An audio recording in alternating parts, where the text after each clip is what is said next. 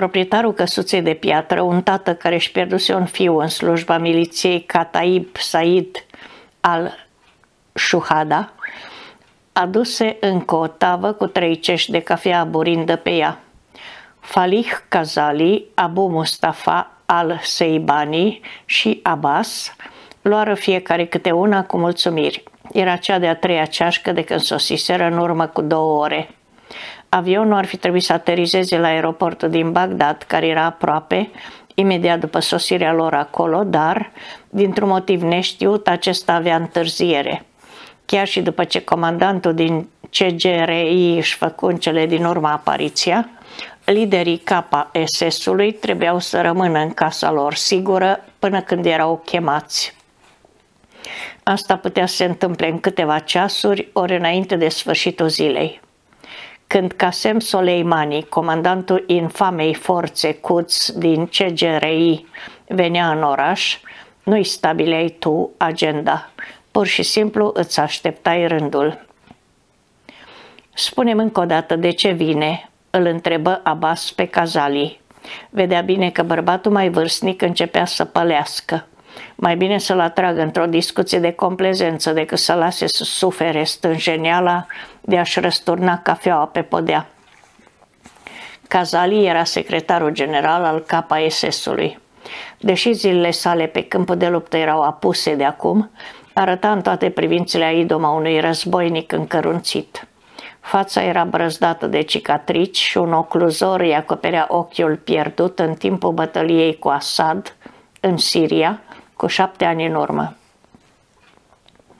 Se întâlnește cu prim-ministrul Abdul Mahdi, răspunse Kazali și ochiul îi se lumină când luă încă o înghițitură din băutura tare. Umblă vorba că s-ar afla într-o misiune de pace, căutând să obțină ajutorul primului ministru pentru a intermedia o reconciliere între Iran și Arabia Saudită. Abbas își înăbuși râsul. Ideea că Iranul ar dori să încheie pace cu Arabia Saudită era de-a dreptul ridicolă.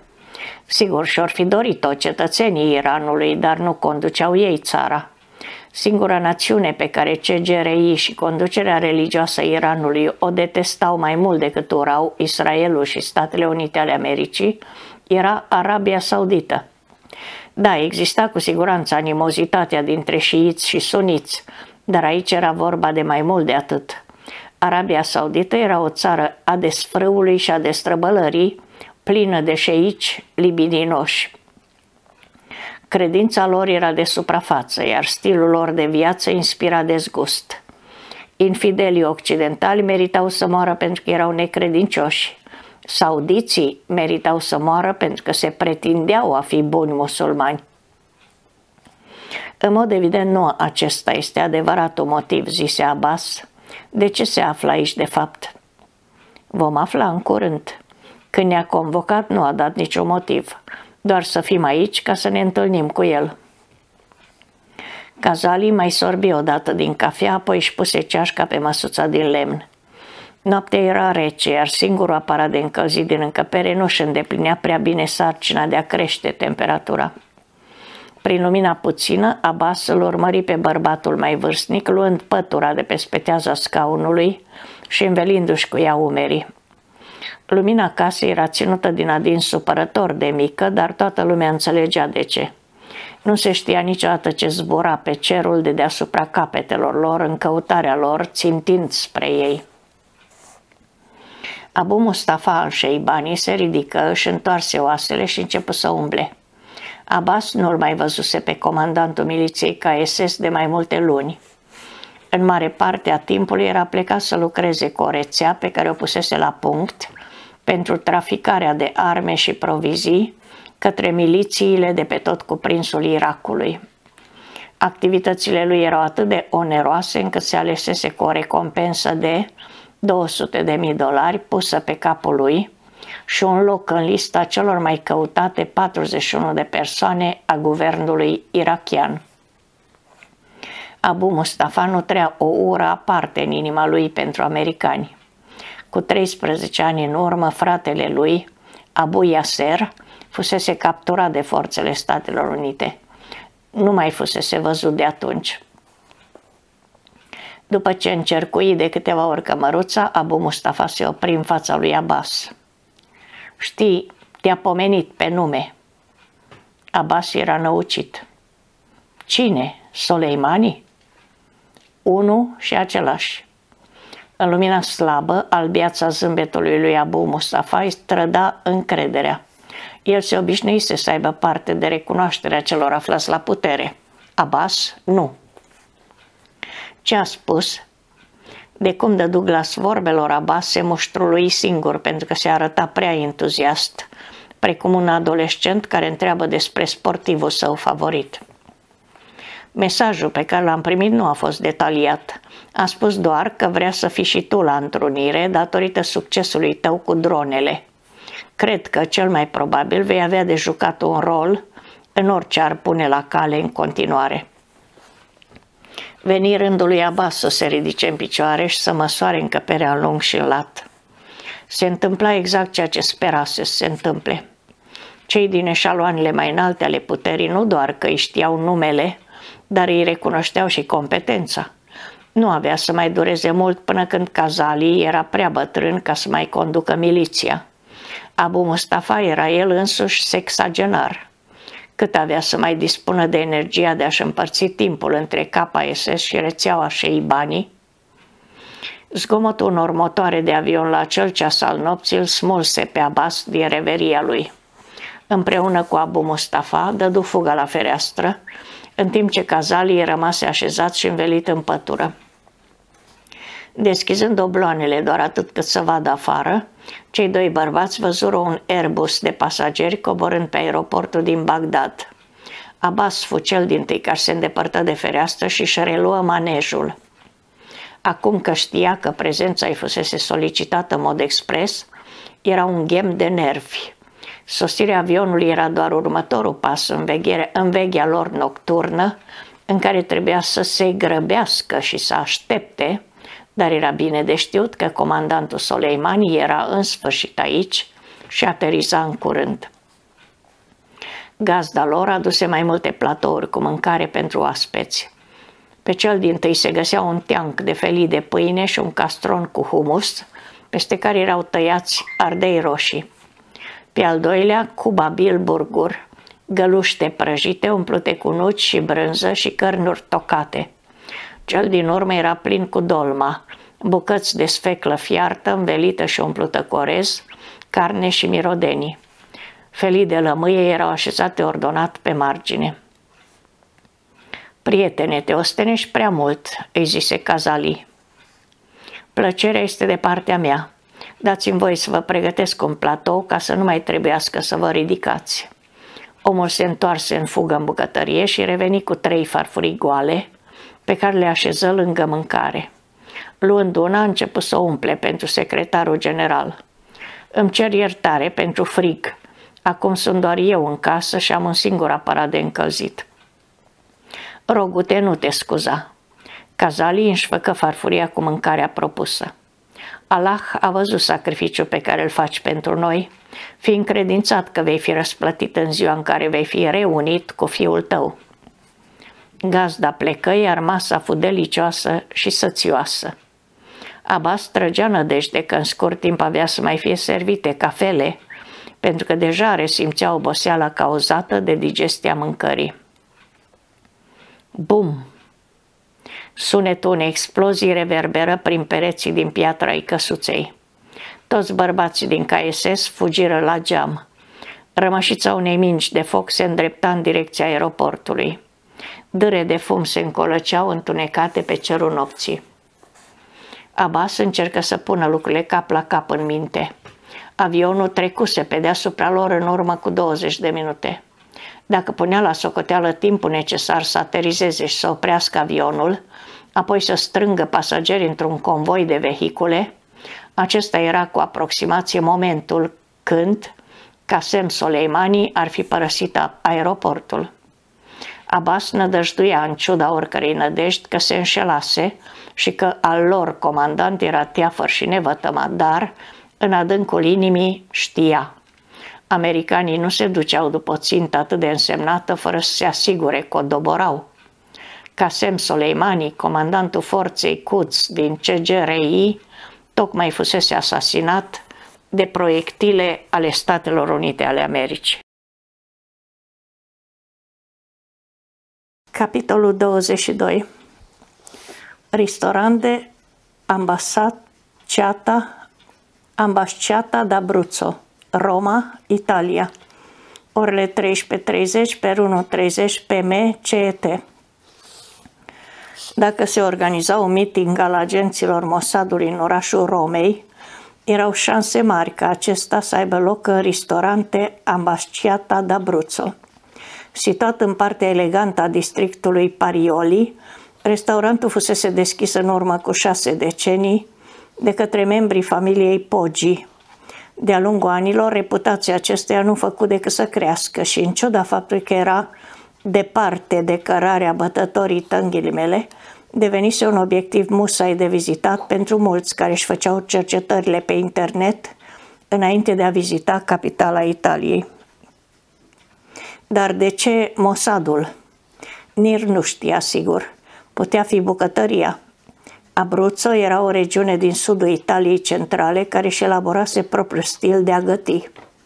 Îmbelșugată în ingrediente precum pâinea, carnea de miel, usturoiul, trufele și mirodenii, precum șofranul, lemnul dulce și rosmarinul, mulți identificau bucătăria abruzeză drept una dintre cele mai bune din Italia ori puteau fi mulți, alții fact, mulți alți factori implicați. Era oarecum izolat de grosul turiștilor, tindea să fie zgomotos și se afla la doar 10 minute de mers vioi de ambasada israeliană. Oricare ar fi fost motivul, dacă cineva ar vizita azi localul familiei Poggi și ar vedea o masă mai retrasă la care stau doi bărbați, care izbutiseră într-un fel sau altul să-și aranjeze scaunele astfel încât să stea amândoi cu fața la ușă, se prea poate ca acea persoană să vadă doi agenți din comunitatea serviciilor secrete israeliene. În ziua cu pricina, Nir era unul dintre cei doi bărbați poziționați spre colțurile mesei acelea retrase, cu fețele spre ușă. Celălalt era Efraim Cohen, asistentul directorului adjunct din Cezarea.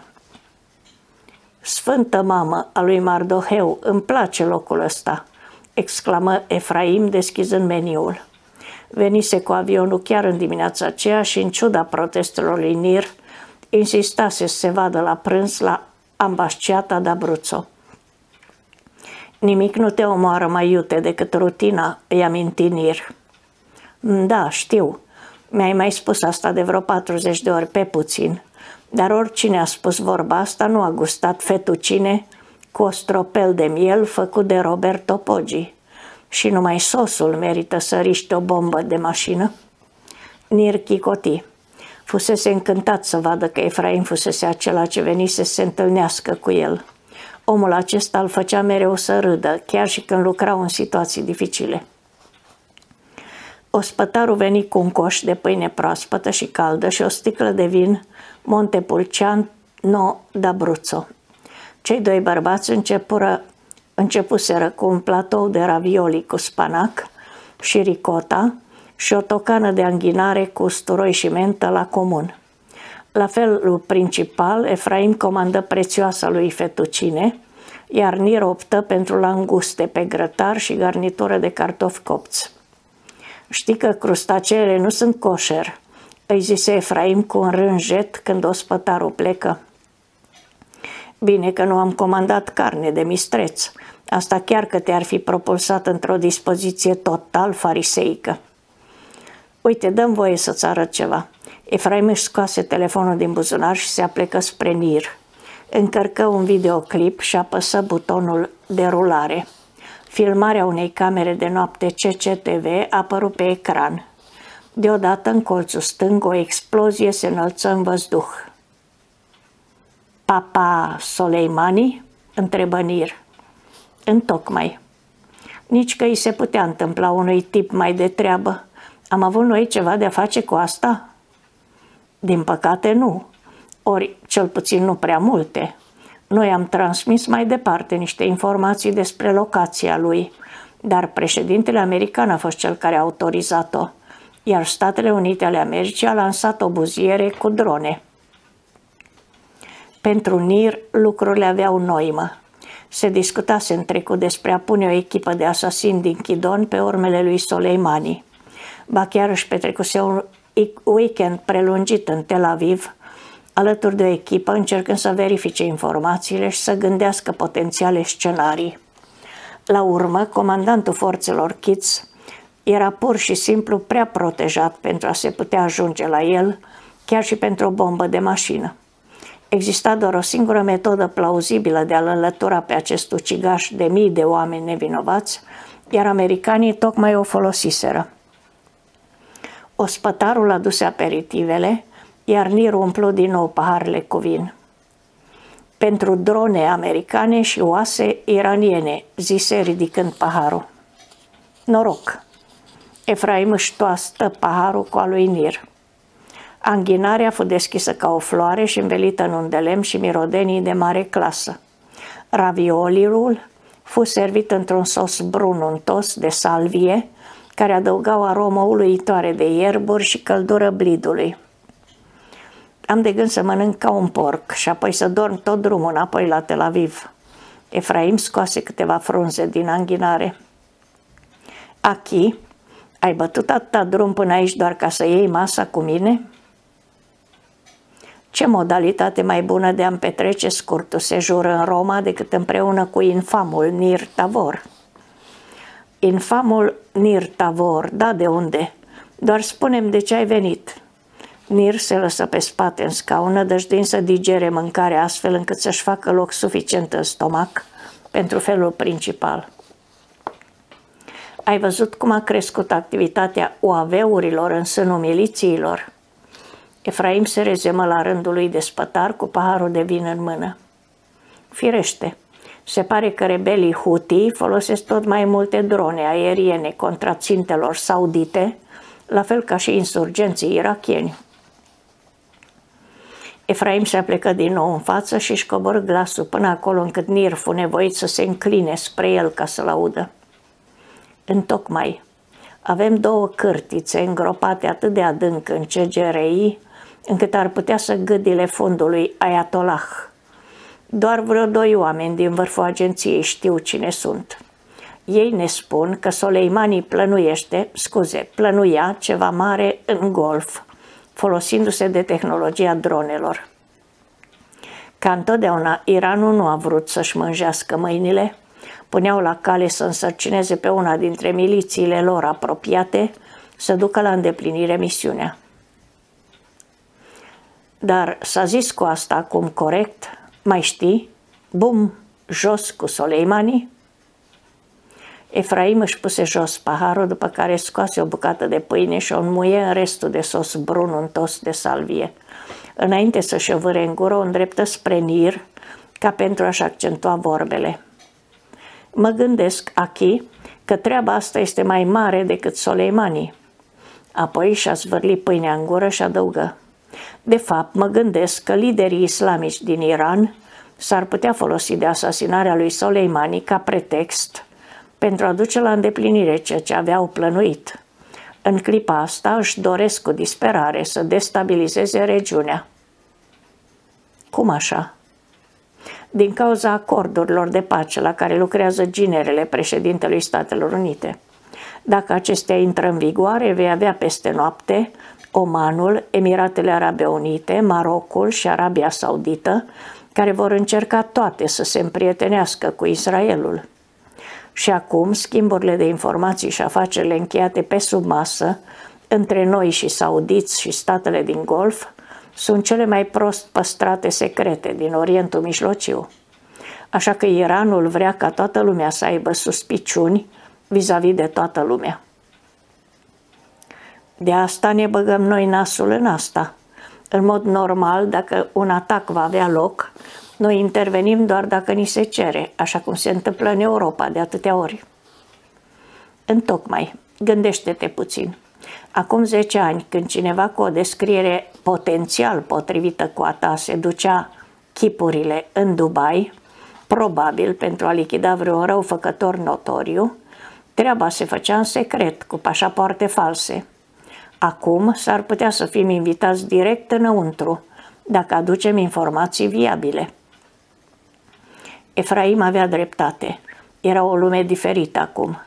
Foști dușmani erau acum, dacă nu tocmai prieteni, cunoscuți, care lucrau împreună. Avem vreo idee ce anume au pus la cale? Niciun indiciu, dar din nou ne gândim la ceva cu drone. Ceva cu drone. Nir scutură din cap și îmi cer mie să iau aceste cuvinte incredibil de folositoare și să fac ce, mai precis? Să oprește atacul, desigur. Efraim zâmbi larg și îl plesni pe Nir peste umăr.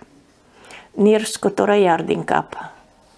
Ceai pseret, expresia care însemna literalmente a trăi într-un film, dar care era argo obișnuit pentru atunci când cineva avea așteptări din calea afară de nerealiste, părea adecvată.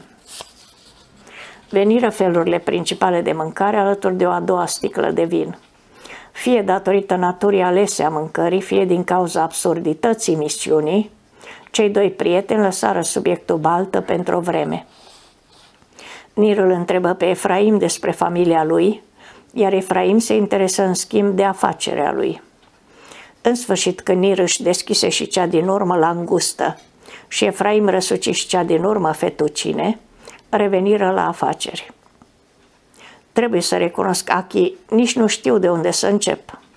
Nir dădu să împartă ce mai rămăsese în cea de-a doua sticlă de vin între cele două pahare ale lor. De asta îți dau o echipă. Vei avea patru agenți cu normă întreagă, plus atâtea arme câte vei avea nevoie. În plus vei avea personal de suport logistic din patru oameni și o frumusețe de geniu cibernetic. Nir se opri din turnat pe la mijlocul paharului său. Ce ai zis?" întrebă punând sticla pe masă. Avem nevoie de cei mai buni în operațiunea asta. Tu ești operatorul nostru cel mai bun. Îți pun la dispoziție cea mai bună echipă logistică și nimeni nu o întrece pe Nicol în computere. Cu ea ai vorbit? Nu sunt sigur că vrea să lucreze cu mine în clipa asta. Nu-mi pasă dacă vrea sau nu să lucreze cu tine. Trebuie să știu doar dacă tu poți lucra cu ea. Și înainte să încerci să scornești vreun alt răspuns, dăm voie să-ți spun că răspunsul e da. Da, Efraim, prietene, pot să-mi las deoparte iubirile adolescentine și problemele emoționale prostești și să-mi fac treaba. Iată răspunsul tău. Nir se încruntă la celălalt bărbat, dar nu putea să se supere, pentru că acesta avea absolută dreptate. În joc era salvarea unor vieți. Da, Efraim, Achi, pot să-mi las deoparte iubirile adolescentine și căută ajutor. Și problemele emoționale prostești. Și problemele emoționale prostești și să-mi fac treaba. Nir își duse paharul la buze și îl goli. Ceva mai târziu, bărbații ieșiră la o cafea, la o cafenea și rememorare misiunile trecute și bârfele din agenție. Până la urmă, Efraim plecă spre aeroport și apoi spre casă. Înapoiat în camera lui de hotel, Nir încercă să-și facă o imagine mentală despre cum avea să fie momentul în care, după atâtea luni, o revedea din nou pe Nicol. Ar putea ea să-și lase deoparte diferențele? Ar putea el să se prefacă că nu aveau un trecut împreună? Oricum ar fi privit lucrurile, avea să fie straniu și stânjenitor. În dimineața următoare luă un zbor înapoi la Antwerp. Efraim mai avea ceva treabă de făcut ca să pună la punct logistica echipei, dar era optimist că, deși era posibil ca asasinarea lui Soleiman să nu oprească atacul pe care acesta îl plănuise, cu siguranță îi punea bețe în roate. Nir hotărâse să profite de acel răgaz ca să-și pună afacerea în ordine. Operațiunea ar fi putut dura săptămâni de rândul și voia să se asigure că el Diamonds era pregătită să supraviețuiască în absența lui. Apoi, în 12 ianuarie, avea să zboare la Tel Aviv ca să înceapă operațiunea de a opri ceva cu drone, în ghilimele. Capitolul 23 Zece zile mai târziu, sediul Mossadului, Tel Aviv, Israel. 13 ianuarie 2020, orele 8.30-8.30, AM IST. Nir închise ușa biroului Ramsadului și trecu prin zona de recepție. Având în vedere că era centrul celui mai respectat serviciu de informații din lume, decorul sediului Mossadului era surprinzător de utilitarist. Nimic strălucitor, nimic ornamental. În schimb, toate își aveau locul și rostul lor. Asta era valabil și pentru biroul directorului. Doar câteva tablouri pe pereți, un raft pe care se înghesuiau cărți, bibliorafturi, pachete legate și un perete de dulapuri tixite cu dosare. Cel din urmă fusese o surpriză. Mai folosea cineva fișiere în epoca asta digitală? Presupunea că acolo se găseau informații dintre cele mai sensibile care se voiau ținute departe de privirile indiscrete ale infractorilor cibernetici, dar informațiile de soiul acela nu erau mai bine păstrate într-un safe decât într-o serie de fișiere din tablă din anii 1960. Întrevederea cu Ramsadul Aira Katz fusese scurtă și în cea mai mare parte neinformativă. Și totuși era probabil necesară. Katz îi spusese lui Nir că dispunea de toate resursele necesare și că el și țara lui se bizuiau pe el. Toate cheltuielile acelea de rah-rah, pune mâna pe ei, care însoțesc de obicei startul unei operațiuni. Dar, din timpul petrecut împreună, Nir obținu o informație care îi stârni interesul. Ca și Efraim, Ramsadul accentuă posibilitatea unei inițiative de pace, al cărei lider era ginerile președintelui american.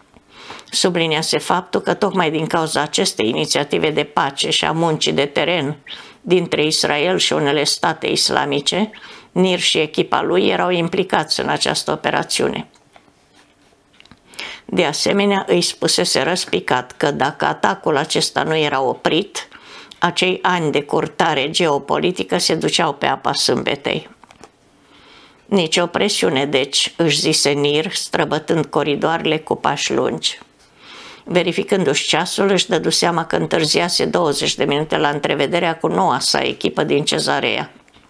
Venise la sediu imediat după ce aterizase în Tel Aviv ieri după masă. După ce fusese condus într-un birou provizoriu care avea să fie al lui peste zi, până când era finalizată camera de lucru a echipei sale, răsfoise dosarele bărbaților și femeilor care îi fuseseră repartizați. Trei dintre operatorii Chidon serviseră împreună cu el în alte operațiuni, dar nu cunoștea pe niciunul dintre cei din brigada logistică. Și apoi mai era ultimul membru al echipei, Nicol.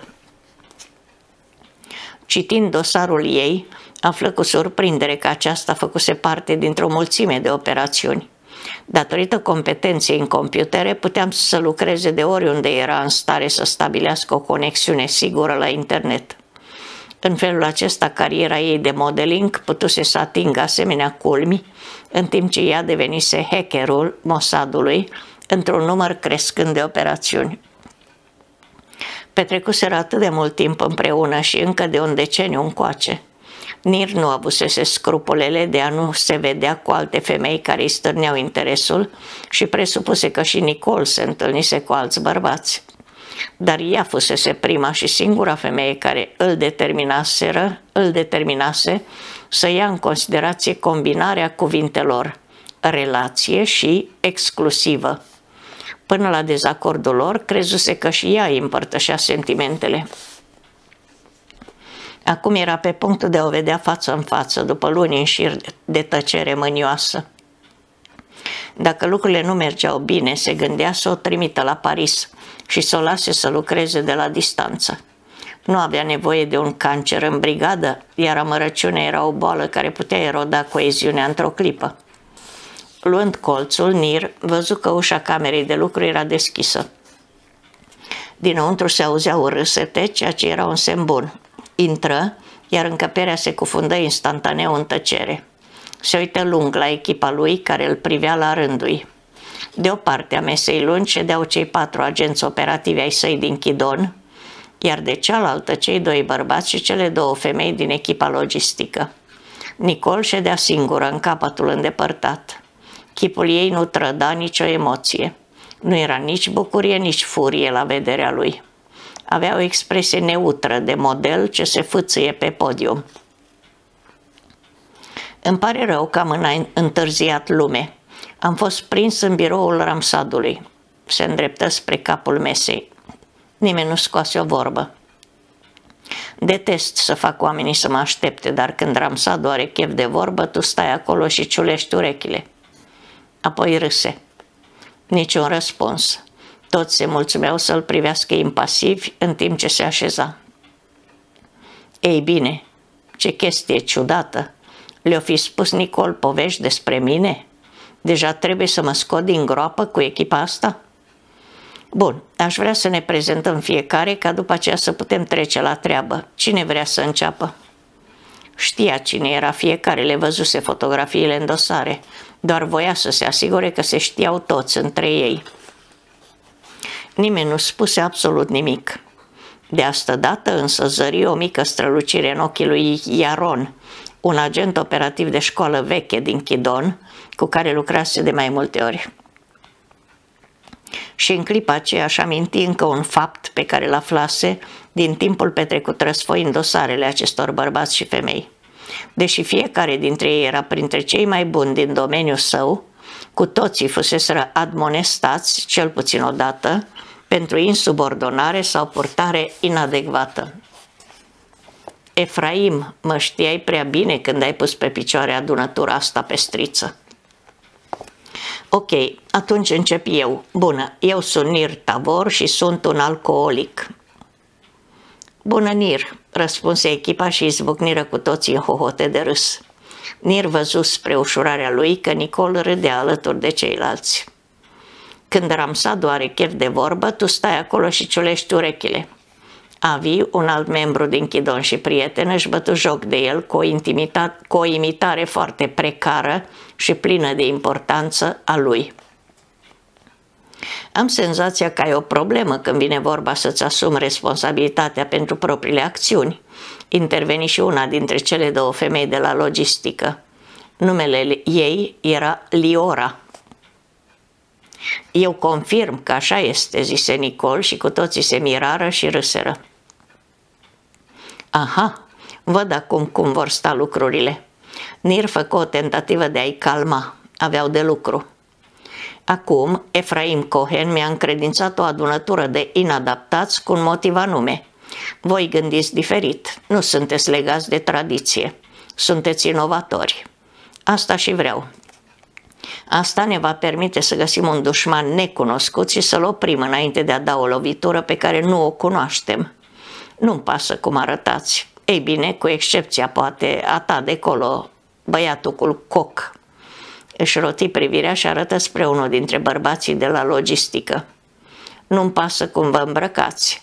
Tot ceea ce vă cer este să faceți treaba la nivelul celor mai înalte abilități ale voastre și să nu fiți mitocani între timp. În următoarele zile ori săptămâni suntem o familie. Cine-i tătuca vostru? Uitați-vă bine la el. Nimic sinistru până acum, murmură Nicol, suficient de tare încât să fie auzită de toți. Dacă tu ești tata, atunci mama cinei? Asta venea din partea individului de la logistică, băiatul cu coc, Iosi. Voi fi eu, mama, zise cea de-a doua femeie de la logistică, dar să știți că nu gătesc pentru voi și să nu cumva să vă vină alte idei. Aceasta era Dafna. Nu este nicio mamă, zise Nir. Era o analogie. Nicio mamă? Iosi scutură din cap. Ce trist. Toată lumea ar trebui să aibă o mamă. Toată lumea are o mamă, zise Iaron, altfel n-am mai fi aici. Nir trebuia să preia cumva controlul. Stop! Eu sunt tati, nu este nicio mami și sunteți cu toții pe punctul de a fi trimiși la colț dacă nu vă concentrați. Tati e cam morocănos, îi zise Nicolui Iosi într-o șaptă audibilă. Trebuie să fi avut o zi grea la birou. Nir nu se putu abține să nu râdă împreună cu ceilalți. Oricât de enervantă era zeflemeaua în timp ce încerca să conducă echipa, ea însemna totodată că se înfiripa o legătură între ei. Soiul ăsta de replici grețoase avea să plătească dividendele momentele de mare presiune, când această adunătură de ciudați și individualiști avea să fie nevoită să funcționeze ca o unitate. Ok, tot mai vreau prezentările. Vom face ocolul mesei. Specificați numele, specializarea și un motiv pentru care ați fost admonestați oficial. Cuvinte de apreciere răsunară din jurul mesei în timp ce toți ochii se îndreptară asupra lui Iaron, un bărbat scund și îndesat la vreo 40 ceva de ani. Iaron Eisenbach, explozibil și schilodiri în general. Am fost trimis să pun o bombă sub mașina unui lider din Hamas.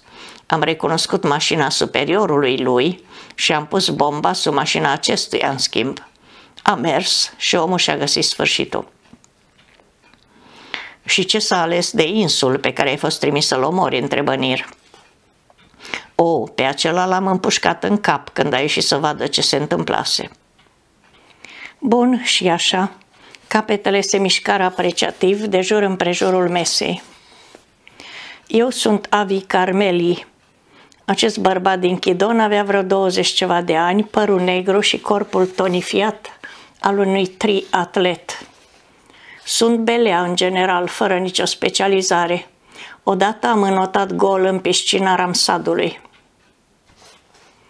Spune-le și restul, îi dă dughes Iaron. Cu fica Ramsadului.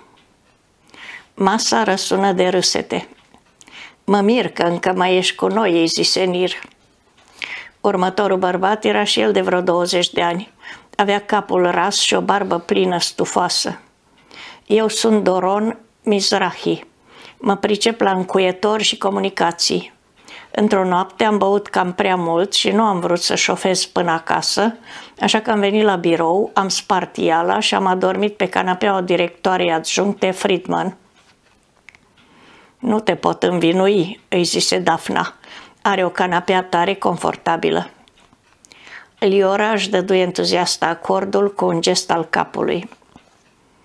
Ultimul bărbat din Chidon era enorm. Un imigrant evreu rus semăna foarte bine cu Dolph Landgren din anii 1980. De fapt, era poreclit în jurul campusului Drago.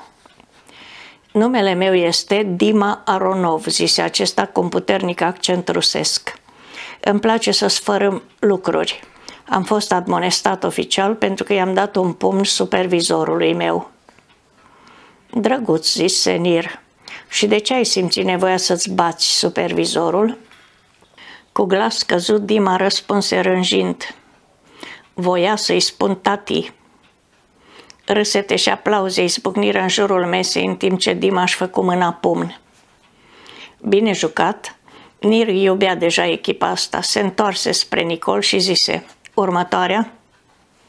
Eu sunt Nicol Leroux. Am talentul de a-mi croi drum spre fișierele din computerele altora. Am fost admonestată oficial de mai multe ori pentru că făcusem cercetări neautorizate în sistemul computerizat al agenției. Cum s-ar zice, ai spart baza de date a Mossadului, zise Doron. Spart este un cuvânt atât de urât. Ca și tine, am spart încuietorile digitale până când am găsit ceea ce căutam. Liora se aplecă în față. Bun, asta o să sune ciudat, dar nu te-am văzut oare în Marie Claire? Nicol Roșii. Posibil. Aceea este cealaltă slujba mea. Îmi plătește facturile și îmi permite accesul în locuri în care nu m-aș duce în mod obișnuit. Trebuie să o spun, nu înțeleg complet. Tonul lui Doron lansa o provocare. Ce anume nu înțelegi? Nir vedea că stânjeneala lui Nicol se prefăcea în furie. Avi sări între ei. Nu înțelegem de ce ești aici, de ce faci asta. Ești deja supermodelul internațional care face bani cu găleata, dar mai mult de atât nu ești nici măcar... Nir fu ispitit să ia apărarea lui Nicol, dar se răzgândi. Aceasta era o bătălie pe care trebuia să o dea și să o câștige singură. Ochii lui Nicol aruncau scântei. Nici măcar ce? Nici măcar evreică? Așa o fi, dar să nu-mi pui vreodată la îndoială loialitatea. M-am dovedit de mai multe ori decât pot număra. Sunt aici pentru că iubesc țara asta și sunt în echipa asta pentru că sunt ridicol de bună în ceea ce fac. De asta și știu, apropo, că ai omis un mic detaliu din povestea ta. Ai avut mica ta petrecere de nudiști în piscină, chiar în ajunul nunții fiicei Ramsadului. Lasă microfonul, zise Iosi și toată lumea râse și ovaționă. Până și Avi zâmbi și îi făcu partea lui Nicol de aplauze. Ascultați echipă, zise Nir.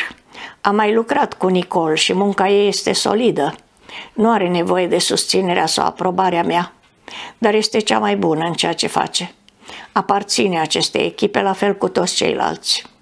De fapt, avem nevoie de ea în această echipă. Ne-am înțeles?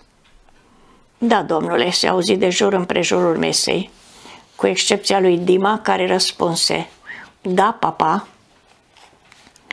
De asemenea, vreau ca orice comunicare dintre noi să continue să fie în engleză. Din câte știam, ebraica lui Nicol făcea progrese, dar toți ați crescut învățând de engleza, corect? Adică cu excepția ta, Dima. Dar competențele tale lingvistice sunt bune, nu-i așa? Eu, Drago, eu place rup lucruri, zise Dima. Când Nir nu răspunse, adăugă. Da, șeful, sababa. Eu sunt Liora Regev, mai scundă de înălțime, cu părul castaniu lung până la umeri, în vârstă de vreo 25 de ani. Liora era definiția de manual a drăgălășeniei. Sunt analist și supervizor video. Am fost admonestată pentru că mi-am jignit supervizorul. Ai fost admonestată pentru așa ceva? Nir era convins că nu auzise toată povestea. Păi, asta a fost după ce l-am lovit cu genunchiul într-un loc nu prea drăguț. L-am cunoscut pe tipul acela. Dafna era și ea o tânără de 20 ceva de ani. Părul era vopsit într-un roșu aprins, iar urechile și nasul erau acoperite cu bijuterii, cât să-și poată deschide propriul chioșc în mall. A căutat-o cu lumânarea. Eu sunt Dafna Rosen și eu mă ocup de analiză și supervizare video. Sunt un soi de Young la inul Liorei. Am fost admonestat oficial pentru că am făcut să dispară filmulețul cu incidentul Liorei și se întoarse spre Nicol. Surioară, dacă vreunul dintre zevzece ăștia te hărțuiesc pentru că ești în echipa asta, dăm de știre. Vom avea grijă să cunoască scorul. Nicole îi zâmbi apreciativ. Băiatul cu cocul fu următorul. Iosi era înalt și subțire și avea o barbă lungă, bine îngrijită și unsă cu ulei. Eu sunt Iosi Hirschfield. Fac cercetare. Pot să găsesc un ac în oricare car cu fân digital. Nu a fost absolut deloc vina mea pentru că am dat de necaz. M-au postat în Naharia să supraveghez granița. Și ce este Naharia? Știe cineva? Plaja Sokolov, desigur. Cele mai periculoase valuri din Israel. N-am avut nicio șansă. Ar fi trebuit să știe mai bine. Ai făcut surf în Sokolov? întrebă bărbatul din urmă cu sinceră admirație. Lahav se apropia de 30 de ani și arăta în toate privințele ca un tocilar al computerului, de la ochelarii groși cu rame negre din plastic și până la cămașa albă, încheiată la toți nasturii. Ridicând o mână, îl forță pe Iosi să bată stânjenit pumnul răbufnind. Acla, m-am dat cu placa acolo jos la plaja Hamaravi. Poate că mă poți învăța și surf într-o bună zi? Și atunci un gând păru Alice brusc. Se întoarse spre Nicol, deopotrivă stânjenit și rușinat. Îmi pare rău, Nicol. Acla înseamnă uimitor sau super tare. Când Dima a spus Sababa adineauri, zicea că era de acord cu sugestia șefului. Amândouă sunt cuvinte obișnuite în argou. Vei găsi o grămadă de termeni argotici și idiomuri în limba ebraică. Dacă ți-e greu vreodată să înțelegi vreo expresie, te rog nu ezita să mă întrebi. Sunt și eu în situații în care mă simt intrus și nu este deloc amuzant. Nu vreau să te simți vreodată așa. Deci să știi că sunt la dispoziția ta, fie că plouă ori ninge. Poți doar să-mi strici numele și îmi fac apariția. Ca în cântecul acela vechi al lui James Taylor. James Taylor este un cântăreț american pe, mare, pe care mama îl plăcea pe când era copilă. Ea ar zice că glasul lui era moale ca untul. Nu știu dacă eu aș spune că este moale, dar este totuși foarte bun. Tare de tot. Dar nu tare precum Sababa, cum a zis Dima. Asta ar fi tare, foarte tare. Încheie cu un zâmbet larg pe față și toți îl priveau cu gurile căscate, inclusiv Nir.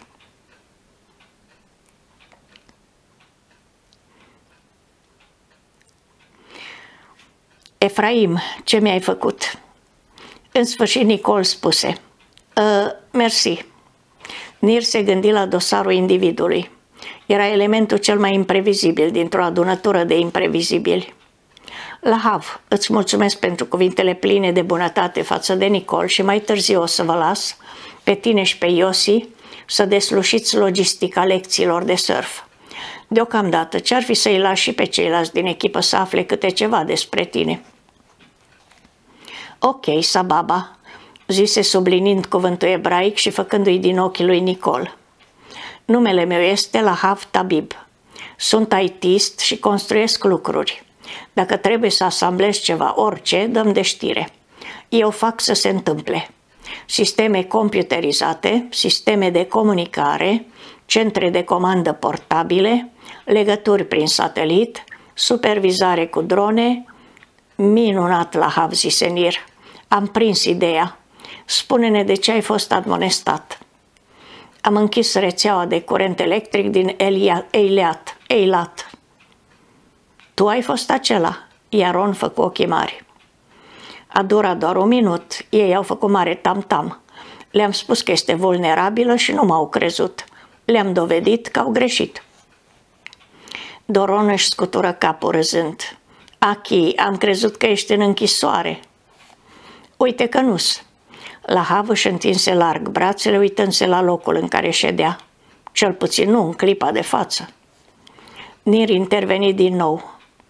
Lahav este, tehnic vorbind, rezident al închisorii Maasiahu, dar ni s-a făcut plăcerea companiei lui pentru viitorul previzibil. Dacă se poartă bine și lasă rețeaua electrică a țării în pace, s-ar putea să nu mai trebuiască să se întoarcă la casa lui departe de casă. Libertate, strigă Iosi reproducând o secvență din inima neînfricată. Și cu asta mai rămâi tu, zise Avi, tu ce faptă îngrozitoare ai săvârșit? Numele meu este Nir Tavor. Am fost dintr-un motiv oarecare ales să fiu liderul acestei operațiuni. Spre deosebire de personajele dubioase care sunteți voi, eu sunt băiat cu minte. Niciodată n-am fost admonestat oficial. Asta pentru că atunci când încalc regulile, o fac cu un scop. Am convingerea fermă că în serviciu de informații se întâmplă adesea ca scopurile să justifice mișloacele.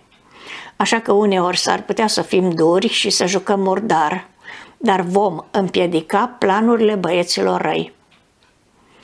Ai vreo idee ce anume sau pe cine căutăm? întrebă Liora. Absolut niciuna. Facem eforturi să obținem mai multe informații de la sursa noastră din interior.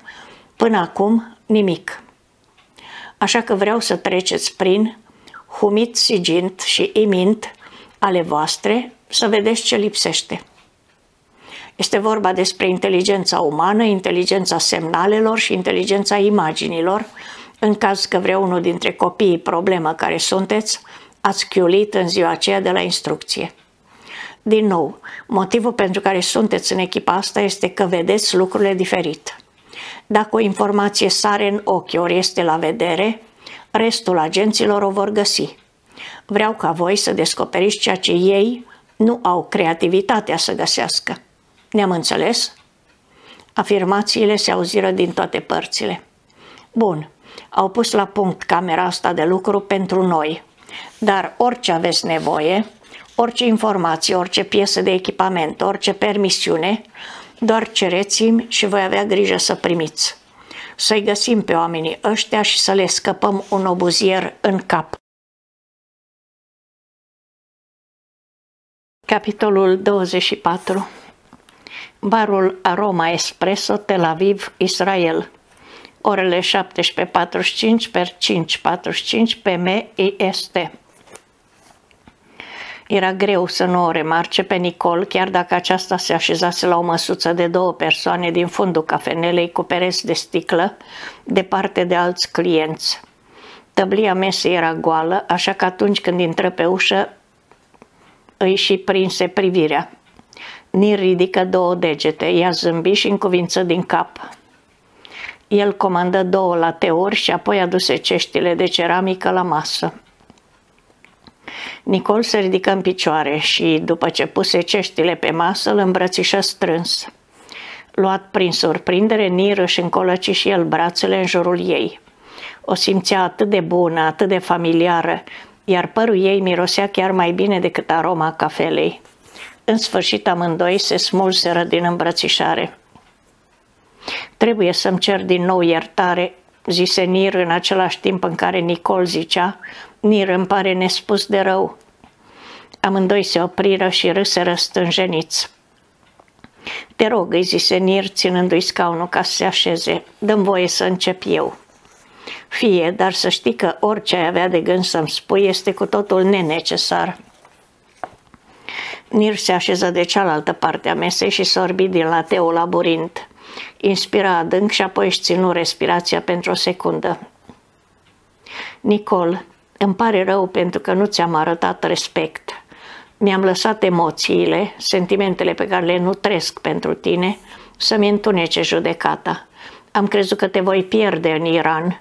M-am simțit atât de neputincios. Și apoi, când te-ai întors fără și nevătămat, am fost supărat pentru că nu am putut face nimic ca să-ți vin în ajutor. Cred că spunându-ți că nu te voi mai lăsa niciodată să te întorci într-o poziție atât de precară, încercam să-mi recuperez cartea de bărbat în ghilimele, știi tu, dobândind controlul. Mai să fie, tu chiar ai rumegat lucrurile. Zâmbi. Ni ridică din numeri. Da, în mod normal nu rumeg lucrurile în asemenea hal. Nu sunt emoțional, dar am petrecut o grămadă de timp încercând să-mi dau seama ce am greșit, astfel încât, dacă aș mai avea șansa să fiu din nou cu tine, să fiu sigur că nu repet greșeala. Nicol întinse o mână peste masă și o pusă peste a lui. Dacă este ceva de iertat, consideră că este iertat. Mâna ei era rece, dar nu apucă să o încălzească în a lui, fiindcă ea și o retrase. Am și eu câteva lucruri să-ți spun. Întâi să-mi cer iertare și apoi o poveste. Ea își coboră privirea spre cafeaua neatinsă, apoi își ridică ochii spre el. Când m-am întors din Iran, am fost druncinată. După cum îți închipui, a fost îngrozitor. Am fost tratată dur, dar din fericire niciodată nu m-au atins, știi tu, în mod nepotrivit. Însă amenințarea exista în permanență, la care se adăuga și incertitudinea viitorului meu. Nu știam dacă urma să fiu judecată, trimisă la închisoare, ori poate chiar executată. Nir se întinse să o ia de mână, dar ea se grăbi să-și își face ceașca de cafea și o duse la buze. Doar șezi liniștit și las-o să vorbească. Singura parte din tine de care are nevoie acum este urechea ta. Deci, când m-am întors, eram dezaxată. Am fost sărbătorită de Ramsat și de superior pentru rolul jucat în transmiterea informațiilor nucleare și am încercat să mă arăt neafectată, să port o mască, dar în interior eram răvășită. Când mi-ai spus, erau cuvintele greșite, rostite într-un moment nepotrivit. Dar și eu am reacționat exagerat și pentru asta trebuie să-mi cer iertare. Nu meritai cuvintele pe care ți le-am spus în ziua aceea și nici cele pe care ți le-am spus la telefon mai târziu. Eram plină de frică și furie și tu ai devenit o țintă. dar nu meritai, îmi pare sincer rău. S-a terminat, e în trecut, să ne vedem de viață. Nir se uită în ochii lui Nicol, de unde lacrimile se pregăteau să se reverse. Se duse la teșghea și luă un șervețel dintr-un distribuitor, dar până când se întoarse el, ochii ei erau uscați. Ea îi mulțumi oarecum și puse șervețelul mototolit pe masă. De fapt, asta a fost partea ușoară. Nicol râse nervos. Habar nu am cum vei răspunde restului poveștii. Dacă nu cumva ai de gând să-mi spui că ești spioană pentru CGRI, cred că pot face față la orice ai de spus. Nir își termină restul ateului și așteptă ca Nicol să vorbească din nou. Ea văzut că ceașca lui era goală și o schimbă cu a ei, care era aproape plină. Nicol nu se ahtia după cafea, iar schimbul acesta se petrecuse adesea pe când ieșeau împreună. Văzând-o schimbând ceștile acelea din nou, Nir se simți plin de speranță.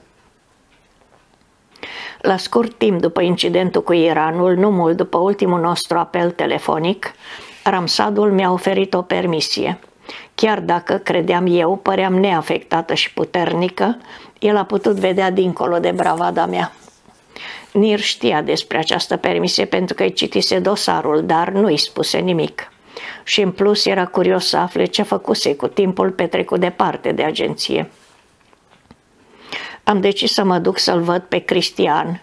Mai știi că ți-am spus că după câte se părea, încerca să-și îndrepte viața. Voiam doar să știu ce se mai petrecea cu el și să fiu în preajma cuiva despre care știam că mă iubea 100%, necondiționat. Așa că m-am dus în Africa de Sud și în scurt timp am văzut ce anume îl schimbase.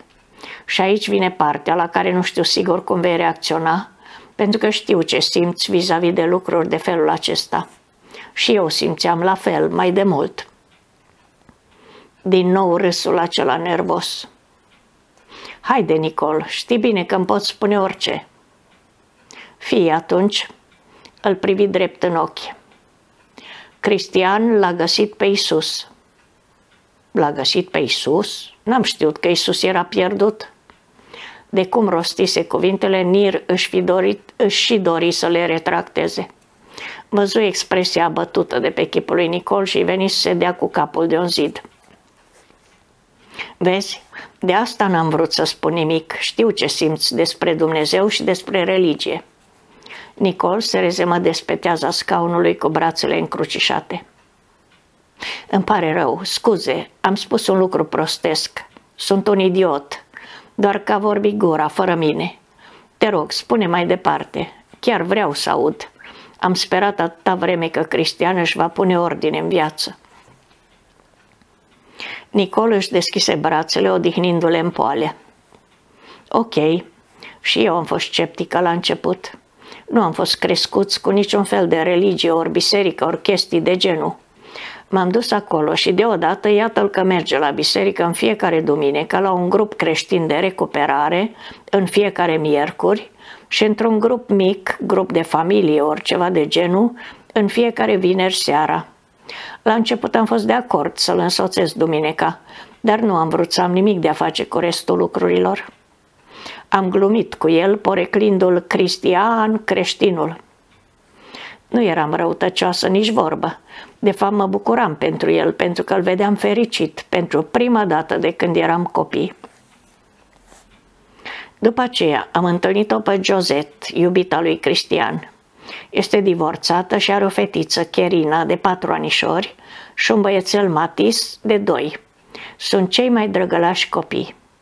Am petrecut ceva vreme împreună și mi-a împărtășit câte ceva din trecutul ei de violență și abuz. Știa ce este frica, dar și-a găsit și ea pacea. Ochii lui Nicol se umplură din nou de lacrimi și de asta dată luă vreo două șervețele cu care și tamponă. Eram atât de răvășită în sufletul meu și nu înțelegeam cum putea Josette să aibă atâta bucurie în ea după toate prin câte trecuse. Când am întrebat-o, mi-a dat același răspuns pe care l-auzisem și de la Cristian. Amândoi au zis că au găsit speranță când s-au dăruit lui Isus. Nir ar fi vrut să-și rotească ochii dezaprobator, El crescuse înconjurat din toate părțile de religie, dar nu l-a trăsese niciodată. Nu-i vedea rostul. I se părea că toată lumea se purta exact la fel, indiferent dacă mergea sau nu la sinagogă. Atâția dintre ei își petreceau săptămâna mințind, înșelând și furând, iar la sfârșitul săptămânii își aprindeau liniștiți lumânările de sabat. Deci, vrei să spui că și tu ești creștin acum? Nicol zâmbi. Da, asta vreau să zic. Și, și este grozav, Nir. Nu mai este frică și nici nu mai sunt furioasă pentru ceea ce mi s-a întâmplat în Iran. Am iertat-o pe mama pentru că și-a luat viața cu droguri și l-am iertat pe Cristian pentru că m-a lăsat baltă pentru lumea abuzului de substanțe. Și cel mai bine este să simt că am din nou o familie. Cristian este pe punctul de a o cere pe Jose de soție, ceea ce înseamnă că mi-am regăsit nu doar fratele geamăn, ci și o soră, o nepoată și un nepot. Bucuria din cuvintele lui Nicol și de pe chipul ei era cum nu mai văzuse niciodată la ea. Avusese parte de multe momente pline de voie bună și râsete, dar cu ea trebuie să mereu să fie în gardă, ca și când efectele dinamici din familia ei erau mereu acolo, aproape de suprafață, așteptând să-și arate colții la cea mai mică remarcă meschină, ori la cel mai mărunt cuvânt aspru. Dar din ceea ce vedea acum, acea muchie dispăruse și altceva nou, pacea, îi luase locul. Minunat, Nicol, cât mă bucur pentru tine. Și se bucura sincer, în ciuda faptului că rădăcina bucuriei ei era religia. Era încântat că i-aș găsise în sfârșit liniștea și că acea pace se răsfrângea după câte se părea și asupra relației lor. Și totuși, odată cu această nouă credință ei, se stârnea în el o mulțime de întrebări. Era aceeași femeie pe care o cunoștea? Cum avea să-i afecteze credința aceasta proaspăt găsită munca în Mossad? Avea să fie împăcată cu gândul că ajuta la eliminarea prin asasinarea băieților răi? Și ce avea să se întâmple dacă aflau și ceilalți din echipă? Era deja considerată intrusă de unii dintre ei pentru că era goi, străină. Cel mai important însă, ce însemna asta pentru relația lor? Era loc în inima ei și pentru Isus și pentru El? Mai rău încă, de acum avea să-și petreacă tot timpul încercând să-l convertească și pe El? Aceasta era o propunere fără sorți de izbândă. O putea asigura încă de pe acum asupra acestui fapt. Nicol zâmbi. Văd în ochii tăi că încerci să-ți dai seama cum va merge asta, acum că sunt creștină, mai ales că tu ești liderul echipei. De asta am și vrut să-ți spun din start. Dacă vei decide că dinamica va fi prea ciudată pentru echipă, ori pentru tine, înțeleg complet înlăturarea mea. Vrei să rămâi în echipă? Chiar dacă asta înseamnă să lucrezi pentru mine? Mai mult decât orice. Acele patru cuvinte produseră ceva în el, ca și când măruntaile lui executaseră un dublu flic și jumătate. Grozav, pentru că avem nevoie de tine. Și în plus, Efraim nu m-ar lăsa să te dau afară nici dacă aș vrea. Mm, da, îl am la degetul mic. Nicol îi făcu cu ochiul. Apoi se întinse spre el și apucam în două mâinile între ale ei. Vreau doar să știi că, atunci când Efraim mi-a spus că tu fusesești desemnat să conduci echipa, am profitat de ocazie. În nimeni altul nu am încredere mai mare să conducă. Nimănui altcuiva nu aș putea să-mi încredințez siguranța. Îi ținu mâinile pentru încă o clipă, după care le dădu drumul. Trebuie să plec acum. Se ridică și se întoarse după jacheta de pe spătar. Nir sări în picioare și ajută să se îmbrace. I-ai mulțumit, după care se aplecă spre el și, cu un sărut pe obraz, se îndepărtă. Nir îi făcu semnul spătarului să-i mai aducă un late, după care o urmări pe Nicol prin pereții de sticlă. Întrevederea nu decursese câtuși de puțin conform așteptărilor lui. Avea mai multe întrebări acum despre relația lor decât avusese înainte să sosească toate la timpul lor. Acum am o chestiune mult mai mare pentru care să-mi fac griji.